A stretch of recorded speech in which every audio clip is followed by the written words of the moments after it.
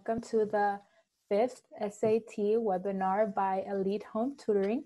If you weren't here on the previous four webinars, my name is Karen.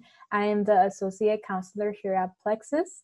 We have with us Christine, who is a tutor from Elite Home Tutoring. Um, she has been tutoring over a decade with SAT prep, so we are very, very happy to have her here with us. Um, also, if you weren't here on the previous four webinars, we can access those recordings on our Plexuss YouTube page. It is called Plexuss Social Media. Um, uh, I didn't put in the chat this time, but uh, let me know what you want to major in, just so I can get an idea just like of the diversity in this room and like what you all want to major in to help you prepare for college. I would really like to. I, would really like for you all to let me know. Um, while in this in this webinar, Christine will be lecturing you all on the SAT reading portion, and she will be lecturing you all on strategies. Um, you are free to let us know of any questions you all might have while Christine is lecturing. You can do so by clicking on the chat option and letting me know privately on the private chat. Oh, I have an animation from Catherine. Thank you, Catherine. Um, so yeah, as I was saying, um, you can go ahead and let me know of your question privately um, on the chat. Uh, I am my counselor Karen on participants, or you can go ahead and send your question to everyone so Christine can see it as well. You are also welcome to uh, ask your question directly to Christine by clicking on participants and clicking the raise hand option that is right there. And then that way you'll be able to speak to Christine directly. All right, so Christine, take it away. okay, welcome today. It is Wednesday. Okay, we're on Wednesday. Trying to keep track of the days. And we are going to be looking at the reading section of the SAT test, picking it apart between today and tomorrow. Um, and the reading section is the first section of the test. Most of you will know that. It uh, I'm going to pull up a slideshow for you to, to get some basic details. So let me pull that up first. This is the hard part. Okay.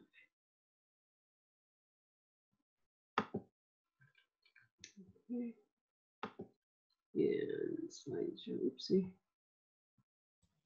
Christine, looks like we have a first question. Yes. Um, Athena asked, what can I do now to prepare for college? Okay, let me get this up here and answer that question. Okay. Okay. Um, Athena, uh, what what grade are you in?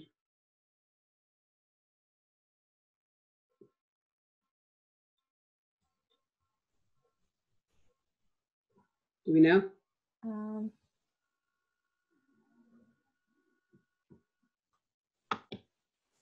Athena, do you want to let me know on the chat what grade you are in?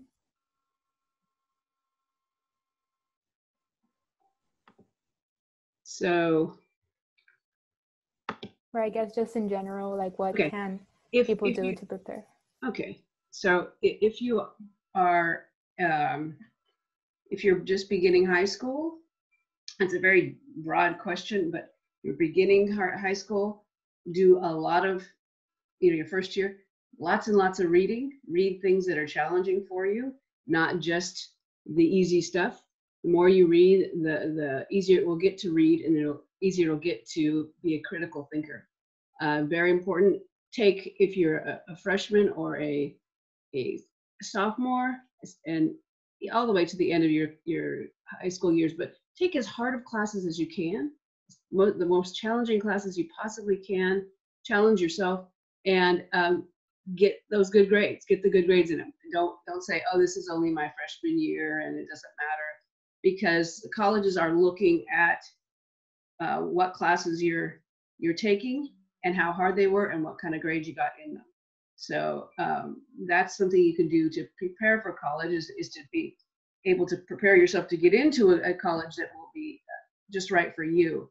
Um, by doing a lot of reading and uh, and challenging yourself even in, in writing, uh, you're going to prepare yourself for college. Be as independent as you can and, and as active as you can in your studies. Don't rely on teachers giving you um, work and and uh, if you happen to have an easier teacher, don't take take it as a free ride say, okay, I'm gonna I'm gonna jump in and get this done. Start to prepare for the SAT. Uh, the end of your sophomore year, start practicing, and and then take it at some point in your junior year. Does that answer your question well enough for at least for right now? Because we're gonna go on to the SAT. Probably. Okay. Okay, so Um, now. Christine, we got- have yeah, time for another question. Um, sure. We have two days um, on reading, so yeah, we get. okay. All right, um, it's not necessarily about the SAT, but we have a question from Catherine. Does a 4.3 GPA make it so it might be easier for them to get into college? Yes. Yes, All right, that's, yeah. right, And uh, hopefully that they're kind of challenging classes. Um, and with regard to that, I will say that if, if you can take AP classes or honors classes that, that are college preparatory or substitute for college classes, that's the best thing. Uh, that's also a very good thing you can do and uh, get a good solid grade in those classes. It's more important that you get a, a high grade in the classes than what you score on the AP test because the colleges don't normally ask you for your score on the AP. They want to see, they want to see the grades. Okay, if there are no other questions, then I will take a look at the reading section strategies.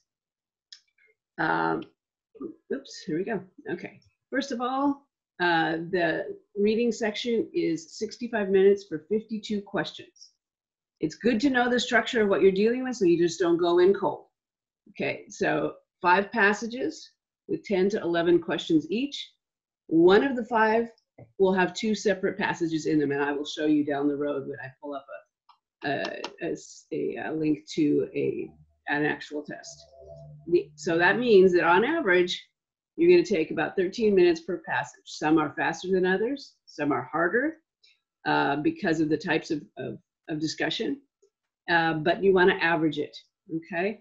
The types of passages you're going to get are uh, one, literature. It might be uh, US literature or world literature. It might be from the 1800s or the early 1900s, which can make it very challenging uh, because the language is so different.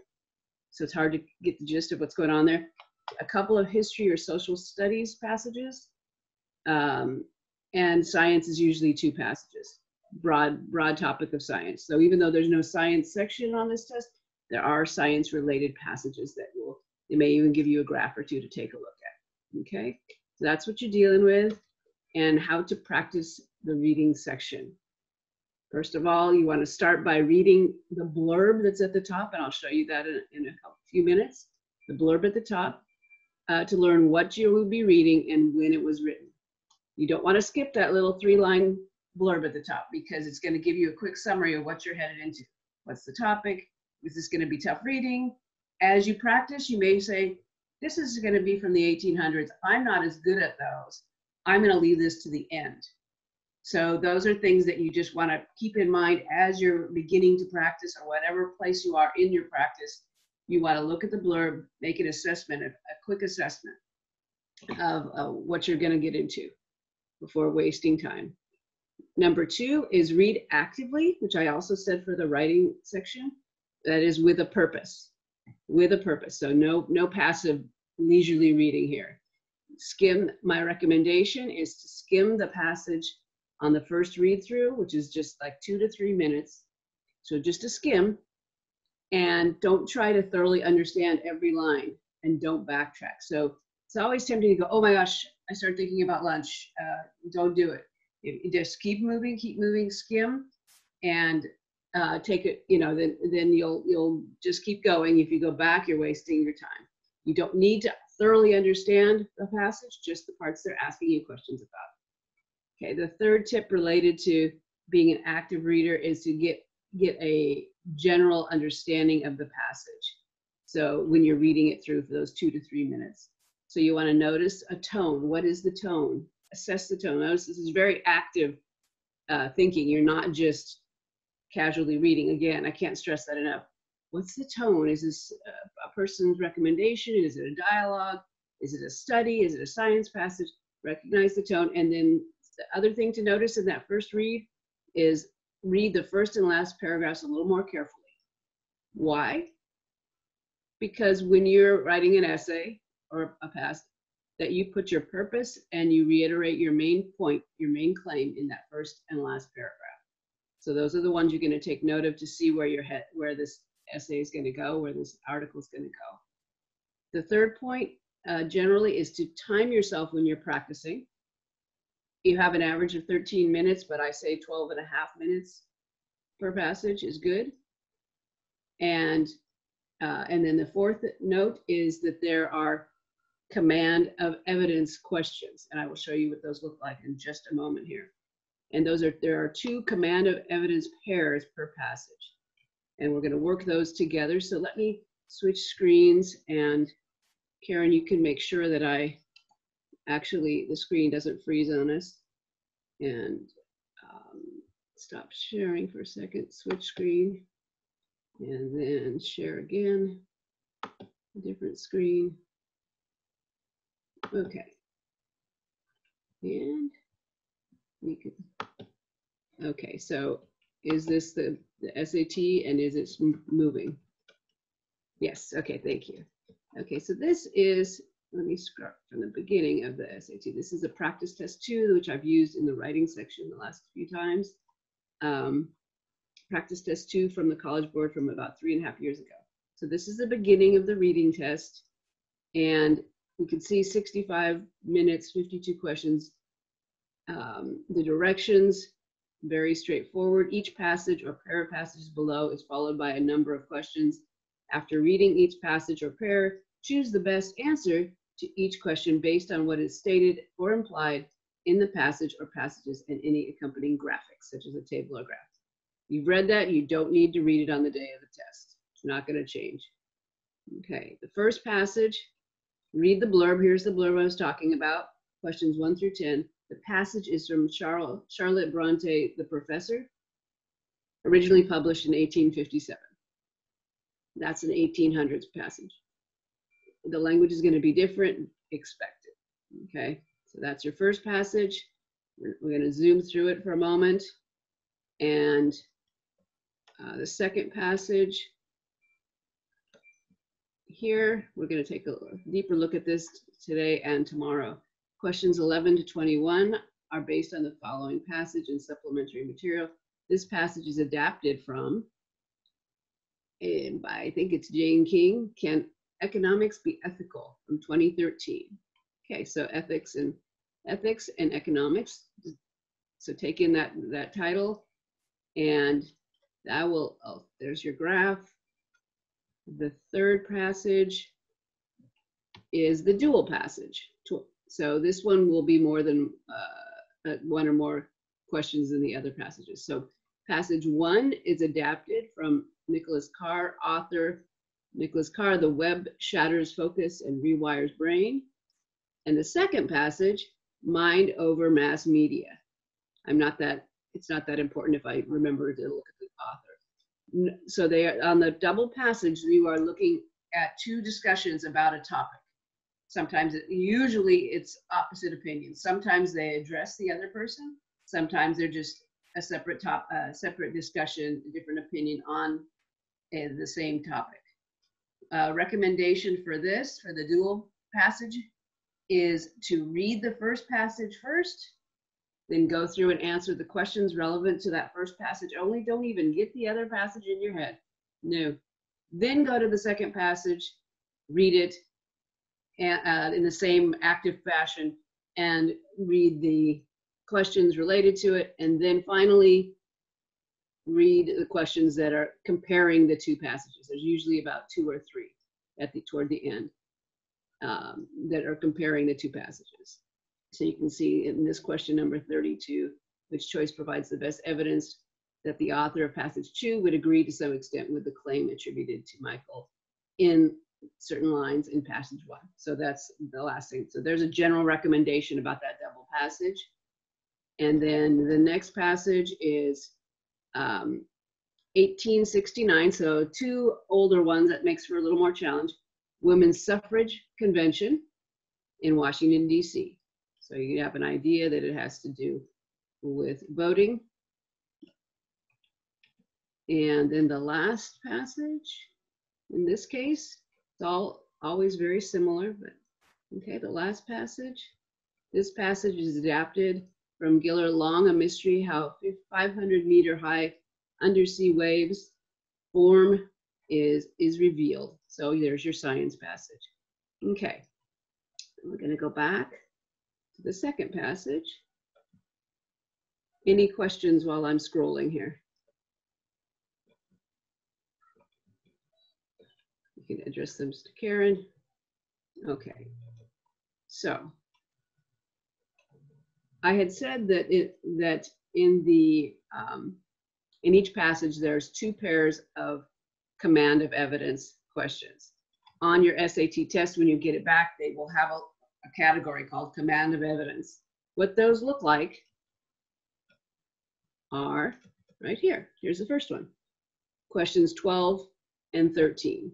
We're not going to pick this these questions apart now. You haven't read the, the passage, so we don't have time to do that. That's something I could I would recommend you doing maybe even today when you have a little bit of spare time so that if you have more specific questions tomorrow when we're continuing with reading, you can address those questions. So question 12 says, in the passage, the author anticipates which of the following objections to criticizing the ethics of free markets. Okay, you want to be on the lookout for the double passages because you don't want to try and figure question 12 out without looking at the line references for question 13. Why would you go hunting through the, the passage when you have line references in front of them?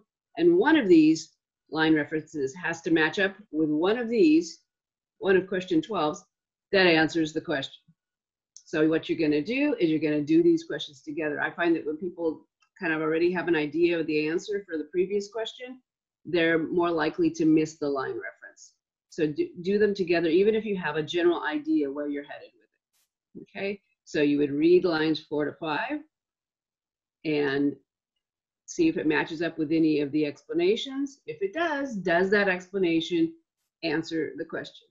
Okay, so that's something that I wanted to point out from the beginning. The other thing to notice here is and please be taking notes. Uh, again, I didn't mention that at the beginning of our time, is that this says which choice provides the best evidence. So you can't stop when you find an, a line reference that works.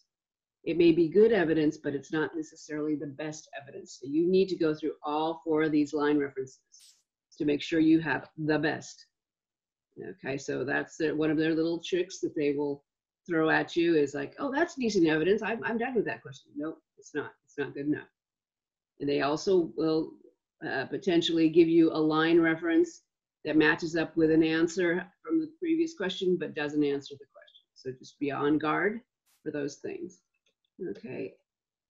And then I'm going to go back to our other sheet and share again. Okay. Okay, are we looking at that? Yeah. Okay, and it, there we go. So that we had that. There we go. How to practice the reading session section. Continue. Use a process of elimination, and I got it POE, by looking for the wrong answers and marking them uh, off, marking them off. So uh, that's that is the key, I would say, on the reading passage to get that higher score. Is find something wrong with three answers. I can't stress this enough. There's only one correct answer, so there must be something wrong with the other answers. So even one word can make an otherwise good answer incorrect if it's a little bit uh, just not in the text. So often what you'll see is you'll see an answer that has, you're like, I remember that, and I talked about that. But one word in there is not quite right. And so then you jump and, and you fall into the trap. This test is testing critical thinking. Critical thinkers don't jump because they see at an answer because they see common uh, common words that they remember. You go back and you check it. Okay. Um, note that the correct answer frequently may be much more general than you expected. So by saying, by trying to prove three answer, answers wrong, you will, that's the surest way to get a better score on your reading section. Okay. You, and please jump in if you have any questions or else I'm going to keep talking.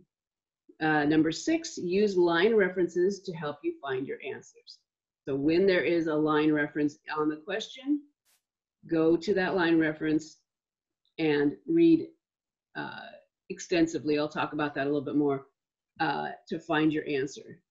And now number seven, carefully notice how the question is asked. Is it a purpose, and according to the author, or an inference question? These are all very, very important, careful details.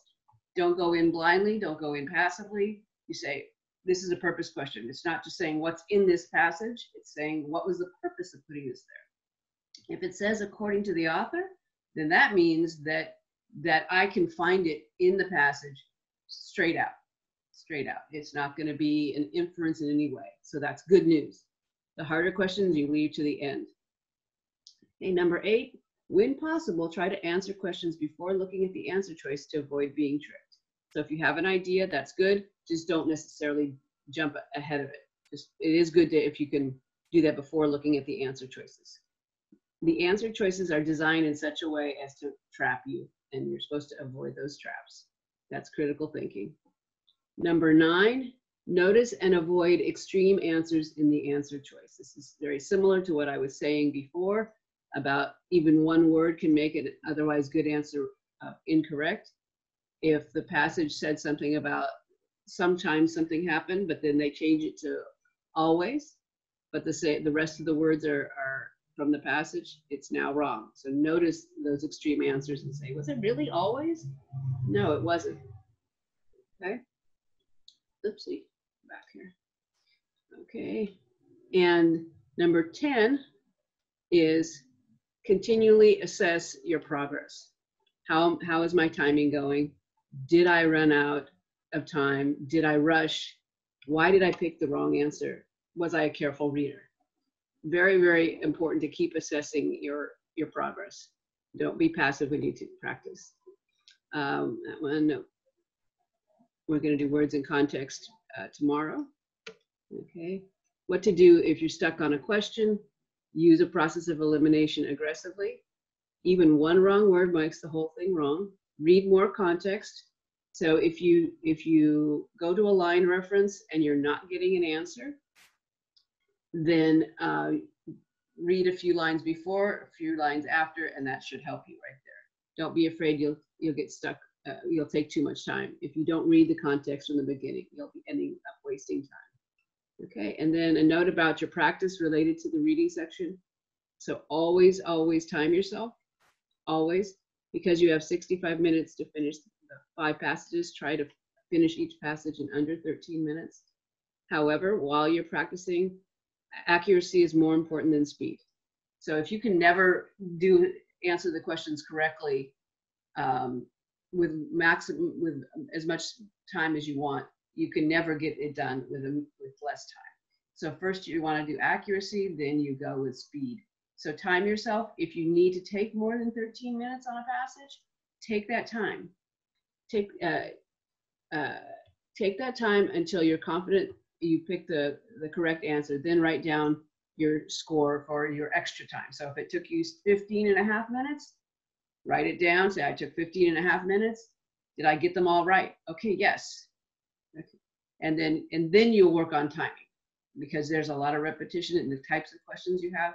So then you're going to be able to to um, work on your timing. But just like playing a, mu a musical instrument or practicing a, a sport, accuracy and precision is first, then you work on your speed. Over time, notice which types of questions and passages uh, are the most challenging for you personally and put in extra practice on those passages and questions. So you do want to notice what kind of questions um, are the hardest for you and, and notice what, which, um, notice why you missed a question. Again, that's key. The reading strategies uh, are, are, and methods are, are different than the rest of the test. Uh, some people will jump in and, and, and, and just go straight to the questions. Um, and then look at the, the, the passage. I don't recommend that, but for some people it works. Um, so you have to kind of develop a little personal strategy. Um, I, what I'm giving you today and tomorrow are, are generalizations but there is some give and take. You, the main thing is assessing yourself. Why did I pick the wrong answer? Okay. Um, are there any questions? No. Um, I have a question. Yes. What is your favorite strategy? Okay, my my favorite strategy is to what I what I presented. Take about two to three minutes to uh, read the skim the passage, skim that passage, and take special note of the be- beginning and end of the passage, so the first and the last paragraph. And I might um, I might just read the the main topic sentence of each paragraph, and and take note of that so I know what's in there. There's going to be some transition words that are going to give me a clue as to what's ahead.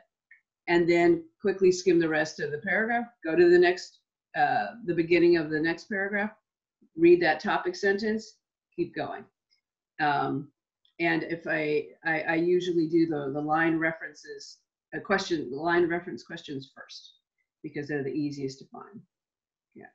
Right, thank And I think you. you have another question here. Yeah. Um, are there any other questions? Um, I do have a general question, like um, that doesn't necessarily have to do with the SAT, but um, let's wait if anybody has any SAT Yeah. questions. reading in particular. Um, yes or no question for you guys. How, how many of you have, uh, have done a practiced SAT test already? So you can just, in the chat box, you can say yes or no. Have a yes, yes, no,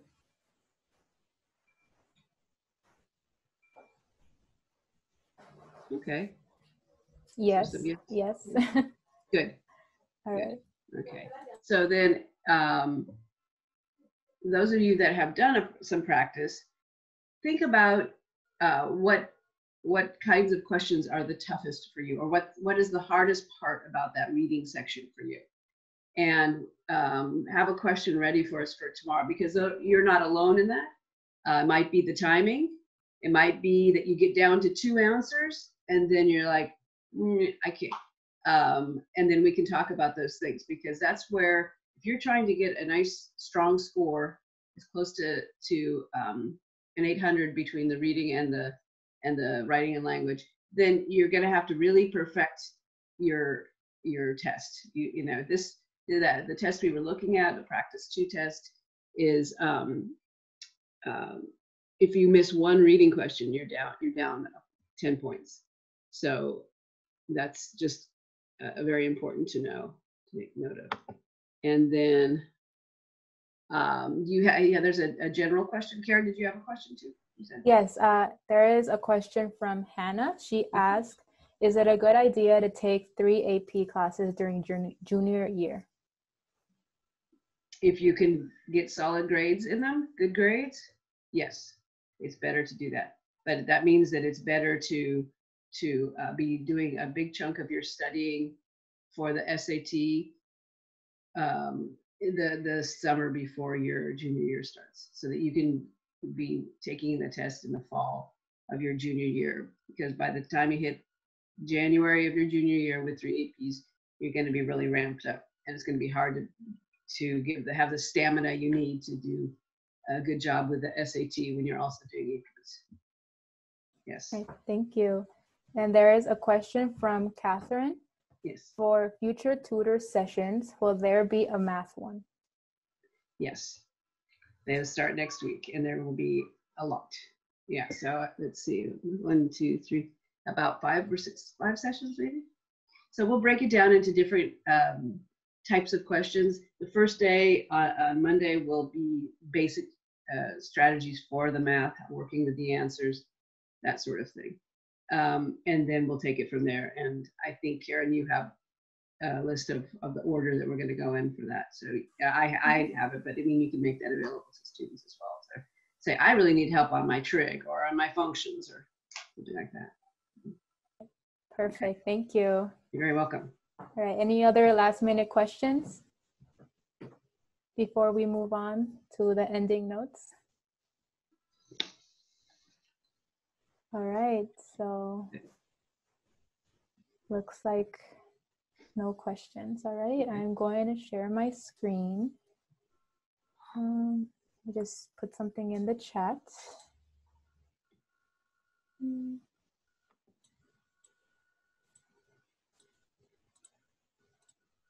Okay, and present. All right. Okay, so thank you everybody for joining us today on today's webinar about SAT reading strategies. The next webinar will be about the SAT reading as well, additional question types, and it will be tomorrow, Thursday, April 9th at 1.30 p.m. Pacific Standard Time. Um, we would very much appreciate it if you download our Plexuss app. If you download our app, you'll be able to receive instant notifications. We're also very much appreciate if you rate it and review us on the App Store or Google Play. We appreciate any feedback you're able to give us.